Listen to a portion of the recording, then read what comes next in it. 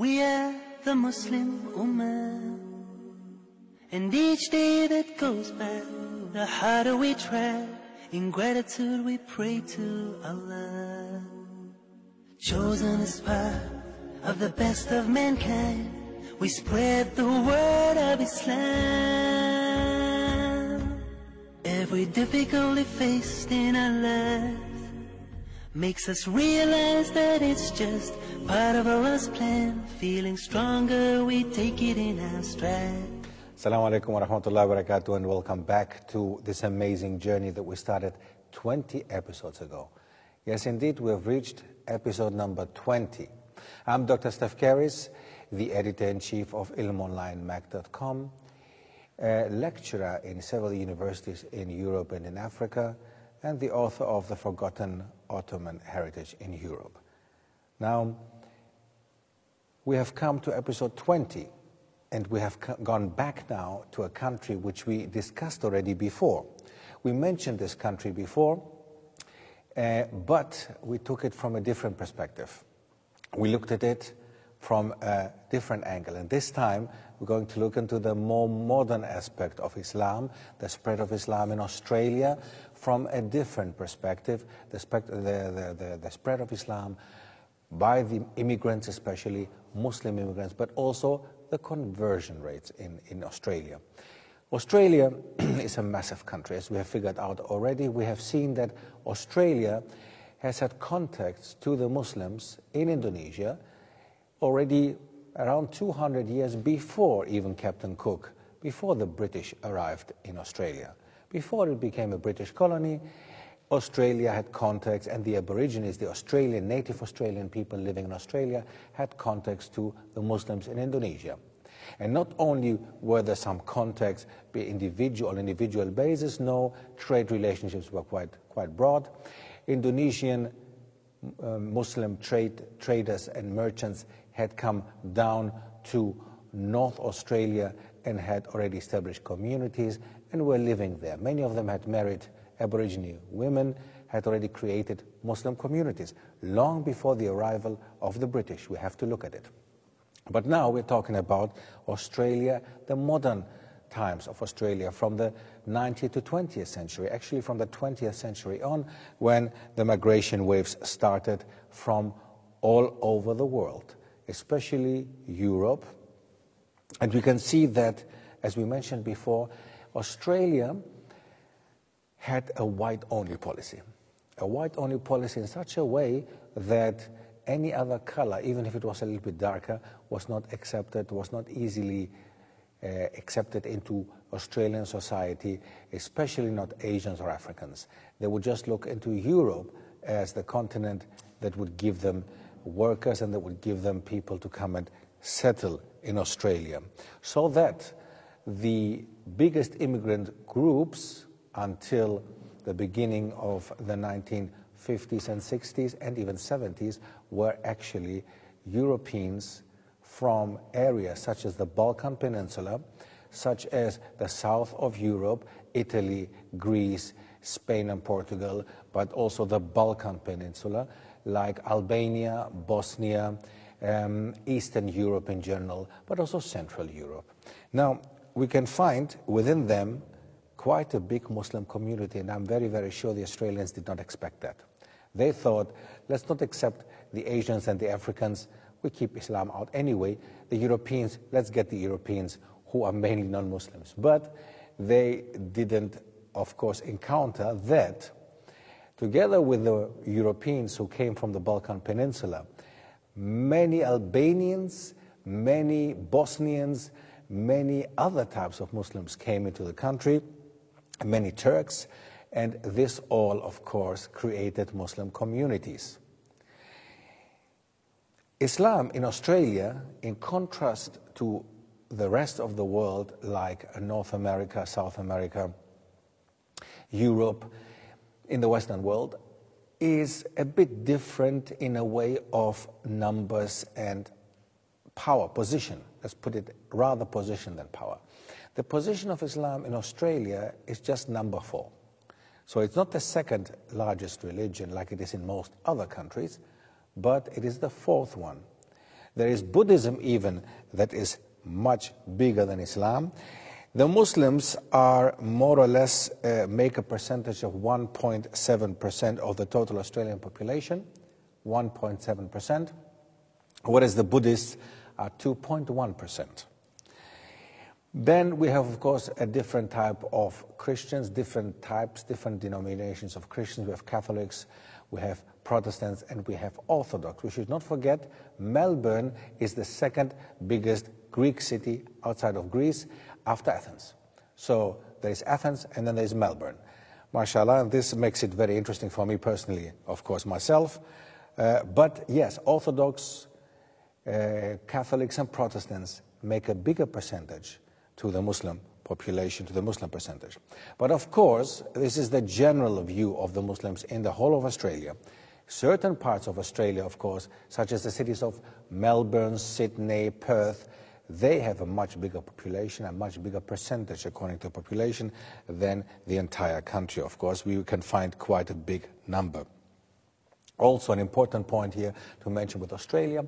Australia, Australia's Muslim community, or rather Muslim communities, are as diverse as the American Muslim communities are. Not only in terms of origins, where they come from originally, but also racially, ethnically, culturally, and linguistically. So we have a very diverse bunch of Muslims living in Australia. In certain areas, more from a specific area than in others. For example, we can find Albanians in certain areas more than we can find Bosnians in other areas. We can find Turks rather than living in, in their areas, of course. And uh, this, this is what makes uh, Australia very different to Europe, for example. Among the migrants and among the Muslim migrants in Australia, we will also find a quite a big group of Australian Anglo or Anglo-Saxons, Anglo-Saxon Australians who actually had accept, have accepted Islam. Quite a percentage, which we don't have the exact number again of. We never had this. It's impossible to find out exactly how many Muslim Australian reverts there are. But, but there is quite a number which has accepted Islam also not necessarily the Anglo-Saxons or of Irish origin Muslim, um, um, Australian citizens, but also there are Greeks, there are Italians, there are many other immigrant groups that among them will have individuals that have accepted Islam, mashallah, quite some of them. And again, this one we can find on the DVD that I mentioned before, Muslims in Australia. You will be able to find more about this. Although we know that Islam's presence in Australia was earlier than just the migration period, um, Islam in Australia plays nowadays a different role than it used to play the time before the British came. Next to the community, the Muslim community or communities being so diverse and so different, because they do come nowadays from any part of the world, like in the US, they come from the Middle East, they come from the Balkan, they come from Europe, they come from Southeast Asia, from the Indian subcontinent, and even from sub-Saharan Africa, such as a big Somali community, and this is the recent case, the last decade, the last two decades.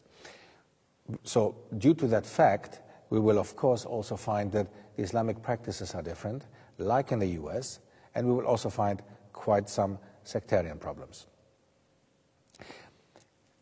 As we mentioned before in South America, Brazil, Argentina, Venezuela, etc., we will find in Australia also a lot of Arab immigrants, especially from the Sham area, uh, Lebanon and Syria, as it is in South America. And again, again, the interesting fact again, that most of them are actually Middle Eastern Christians. They are Christian, Christian Arabs and not Muslims. So most Australians with origins in the Indian subcontinents, the Indian subcontinent, India, Pakistan, Bangladesh, most of them are actually not Muslims, but Hindus or Sikhs or even Christians. The same with the Arabs. Most of the Arabs who immigrated into Australia, most of them, most of them are Christians again. And even most of the Africans are Christians. So they are not the main carriers of Islam Of course, there is a percentage that brought Islam also from the Arab world, from the Balkan Peninsula, as we said, and so on. But the main carriers of Islam are actually the converts and then the recent, the previous, not the recent ones, the previous Muslim immigrants from Albania, Kosovo, Bosnia.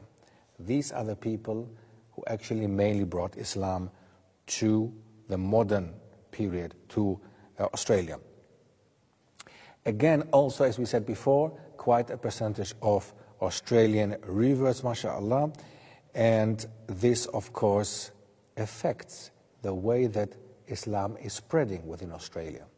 Because it is different if it's now my own kind speaking to me, or if it's now a kind of African or an Arab or an Asian speaking to me about Islam, I would just simply say, as many people do, well, this is your religion, keep it, it's fine, I have mine. But if it's now somebody, if I'm Australian and I'm in Australia, white Australian, and I speak to another white Australian who's telling me how great Islam is, I might be looking deeper into it because obviously he's somebody who accepted Islam. So I might take it more easily from him than from an Arab or some, somebody else. While Australia, as we said, had this white only, white Australia policy, it is very, very, very important to realize that I'm sure that the Australian government did not realize that time that the Muslims who came from the Balkan or the European immigrants from the Balkan were actually Muslims. And this has affected, of course, the spread of Islam in Australia and in the region of Australia, even New Zealand. And we'll speak after this one after the break. Assalamu alaikum. We are the Muslim Ummah, and each day that goes by, the harder we try. In gratitude, we pray to Allah. لبيك اللهم لبيك لبيك اللهم لبيك لبيك لا شريك لك Salah is a beautiful recipe for happiness in this life and the next. But if you don't have the right ingredients for it, the meal won't be so delicious.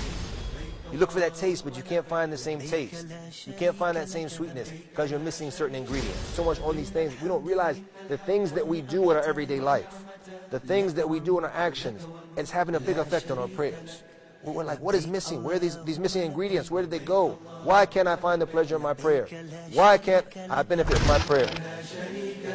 إن الحمد والنعمة لك والملك لا شريك لك the Muslim Ummah And each day that goes by The harder we try In gratitude we pray to Allah Assalamu alaikum wa rahmatullah and welcome back after the break.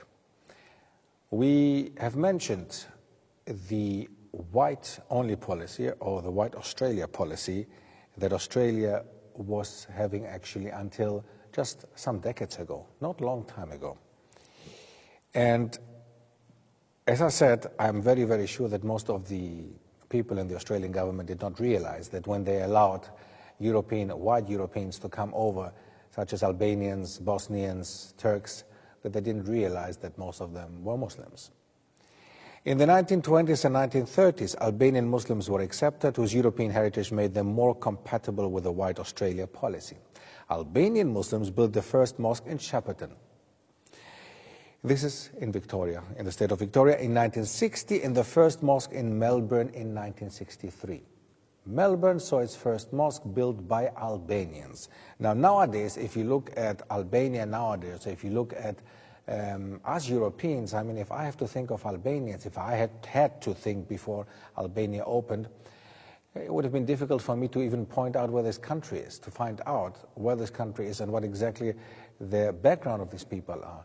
But strangely enough, you know, we can find out that 70% of these people, of the Albanians, are actually Muslims, although many of them do not practice Islam anymore.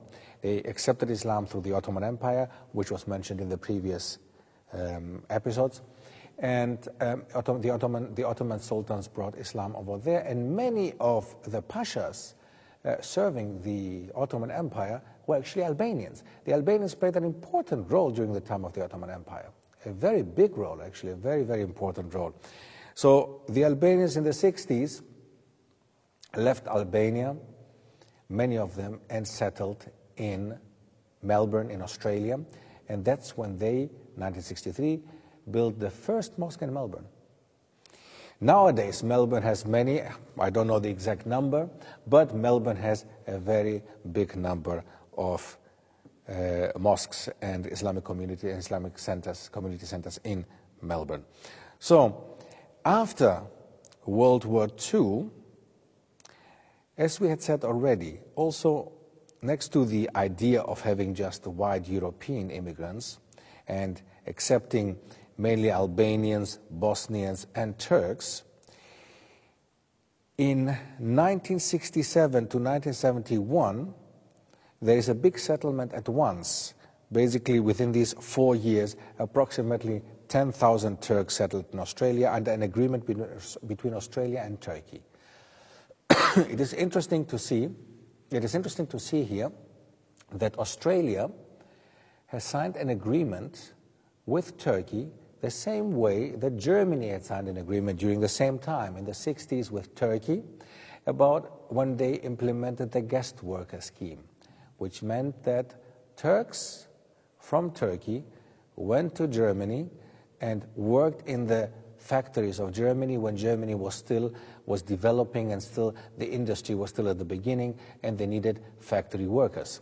Now Australia copied Germany in that way and signed an agreement with Turkey as well and accepted 10,000 Turks. This was the first Muslim community of Middle Eastern origin to settle in Australia. So, before that, there were Bosnians and Albanians, the majority of Muslim immigrants coming from Europe. But now, the first time, although Turkey is in between, is, uh, being a Middle Eastern and European country, Turkey has 5% of its, uh, of its territory uh, in Europe. So uh, sometimes it's considered Europe, sometimes, sometimes considered the Middle East. Um, uh, but in that case, the sources refer to the first time having other people than just the Europeans that we know from the Balkan coming over. Almost all of these people went to the two big cities, Melbourne and Sydney. And that's why we will find big Turkish communities in Melbourne and in Sydney. The idea of Australia white only policy changed drastically in the 70s and onwards. There was a shift in the government's attitude towards immigration. The government became more accommodating and more tolerant of differences by adopting a policy of multiculturalism, and that was in the 70s onwards. From that time on, Muslims from Asia, as well as from Africa, as well as from other parts of the world, had the chance to go to Australia and settle. So more than 60 countries, more than 60 Muslim countries um, allowed Muslims or gave Muslims to Australia from that time on.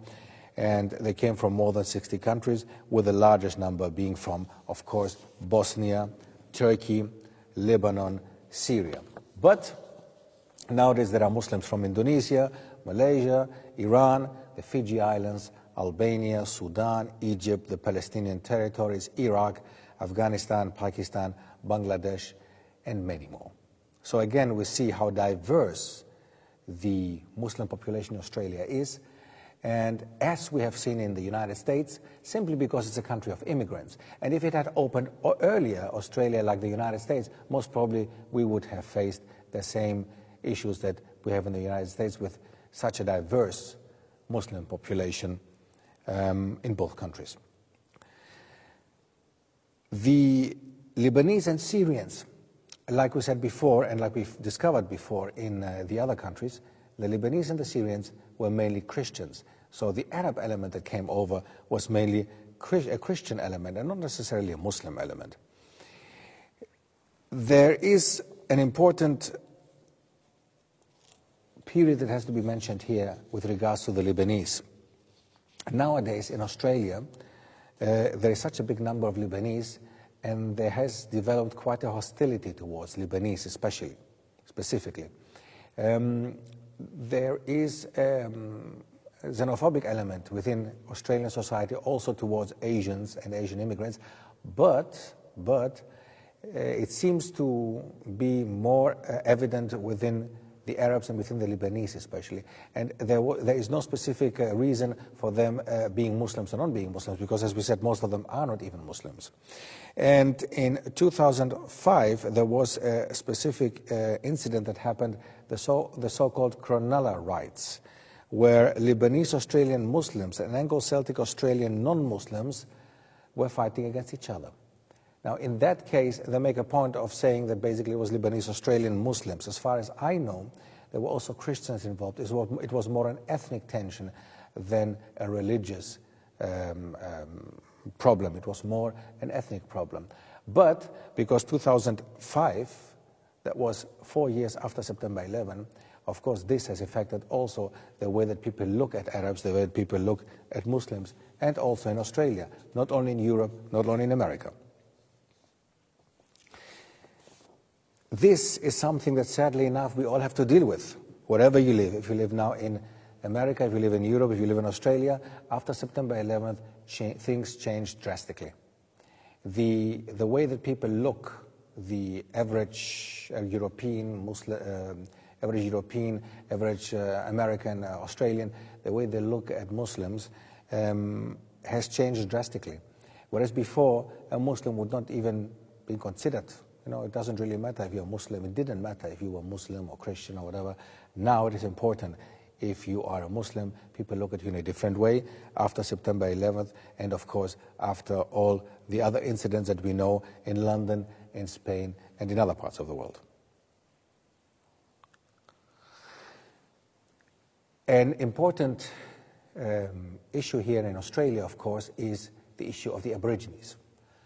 As was mentioned before in the other period, in the other episode that we discussed, the Aborigine community were the ones actually who accepted Islam easily. Even nowadays, you will find quite some Aborigines who are still interested in Islam and even finding the Islamic roots, because as I said before, in one of the episodes that we discussed Australia and the historical spread of, of Islam in Australia, we saw that when Islam spread in Australia, it affected, of course, the Aborigines there. They were the ones who were living there. And they easily accepted Islam, but after the British settled in Australia, they decided to break families apart, take children away, and put them into missionary schools in order to make them so called good Christians. So the Aborigine, pop, Aboriginal population plays an important role with the spread of Islam, and they, being the real Australians, the native Australians, um, will play a future role, of course, for Islam being an integrative part in Australian society. Next to the Aborigines playing such a role, of course, because they have to affect their own society and their own um, country in that case, the Aborigines are the ones that suffer most of poverty, alcoholism, uh, problems, social issues, and, and, and social problems within their community. So Islam is a way out of that.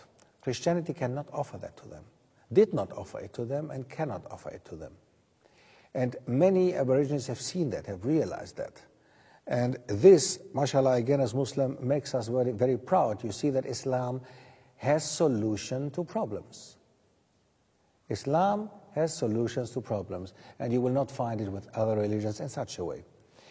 In the contrary, when the British actually went to Australia and they settled in Australia, they persecuted the Australia, the, the, the Aborigines, they actually discriminated against them and pushed them in a corner, in the corner that they are now, becoming alcoholics, becoming, having social problems, and unemployment rate is extremely high under the Aborigines. So all this plays an important role.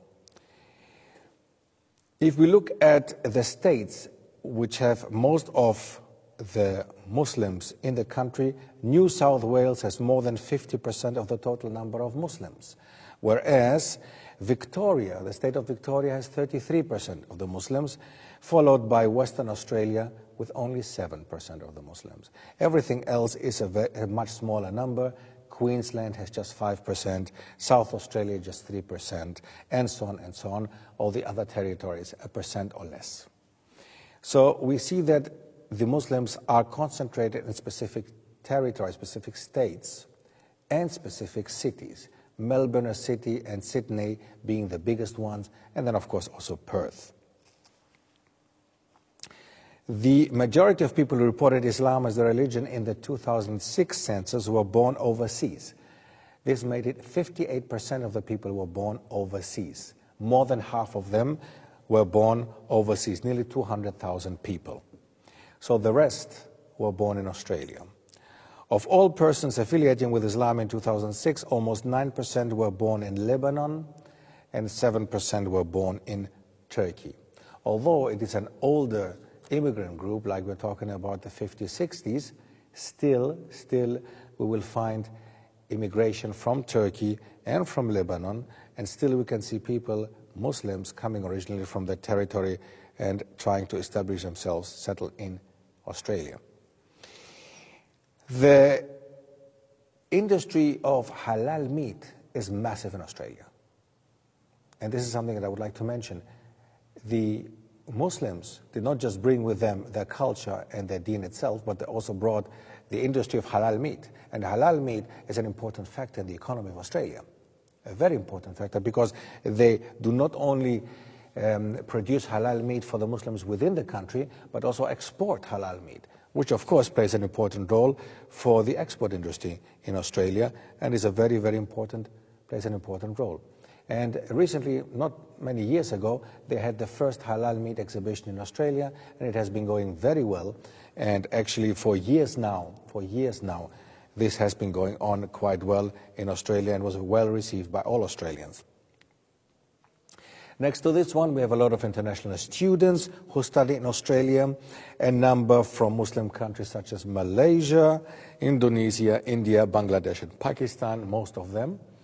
Um, and um, it's, it's, it's at this moment, I don't have specific numbers about how many students there are, but there are quite a number which has to be considered as in the States. As in the US, we have quite a number that has to be considered as well.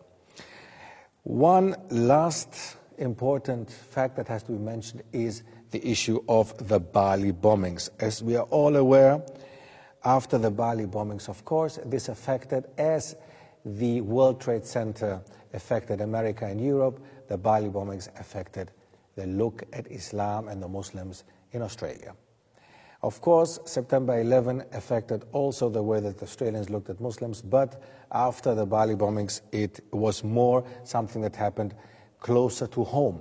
So it's something that affected Australians, plus they killed 88 Australians were killed during the bombings. So this, of course, has affected the way that the Australians would look from that time on to Islam and to the Muslims in that country.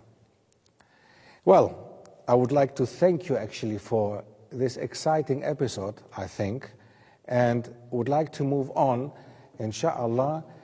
The next episode uh, will still stay in Oceania, we'll still look into Australia, but I would like to take you further to New Zealand. New Zealand is, of course, much smaller than Australia, but still heavily influenced by immigrants and uh, influenced by Muslims. So inshallah, I hope to see you in the next episode. Assalamu alaikum We are the Muslim Ummah, and each day that goes by, the harder we try. In gratitude we pray to Allah. Chosen as part of the best of mankind, we spread the word of Islam. Every difficulty faced in our lives makes us realize that it's just part of Allah's plan. Feeling stronger, we take it in our stride. We are the Muslim Ummah. And each day that goes by, the harder we try. In gratitude we pray to Allah. Chosen as part of the best of mankind, we spread the word of Islam. Every difficulty faced in our life.